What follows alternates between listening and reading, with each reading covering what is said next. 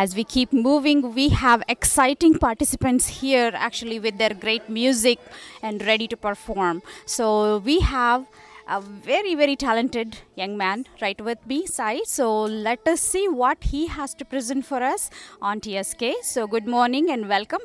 Tell me your full name.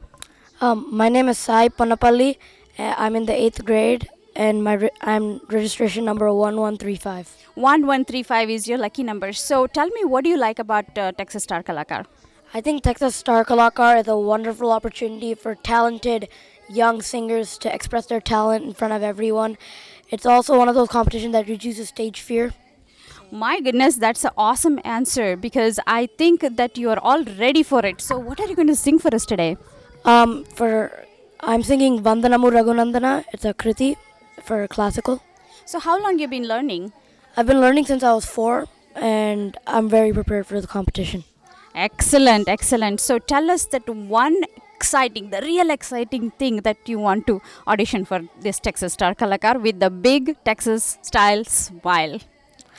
Uh, well, I'm really looking forward to audition my movie song, and also the um, Vandanamu Raghunandana.